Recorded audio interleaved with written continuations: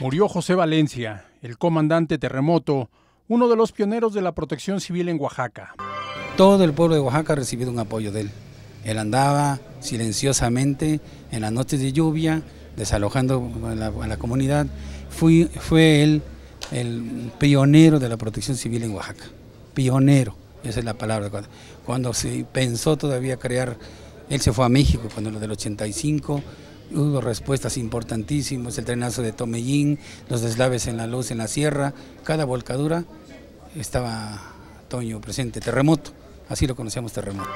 El legado que este hombre dejó se refleja en la formación y conocimiento de los cientos de paramédicos y rescatistas de las agrupaciones de auxilio y socorro que hay en Oaxaca.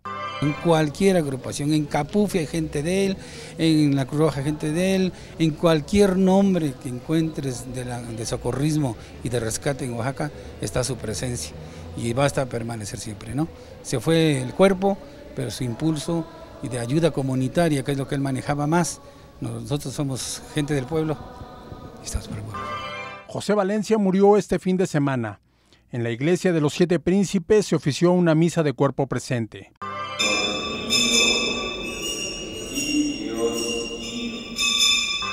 Impactados por esta noticia, los contemporáneos del comandante Terremoto lamentaron su partida.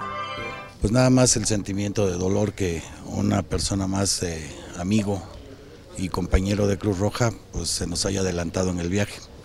Ahora estará de guardia ahí arriba.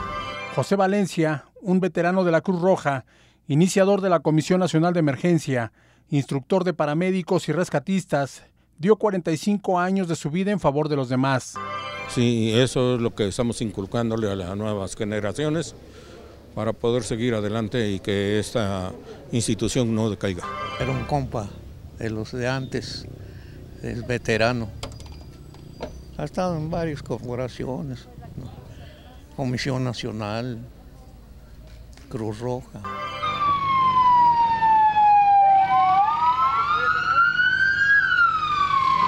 Descanse en paz José Valencia, comandante terremoto.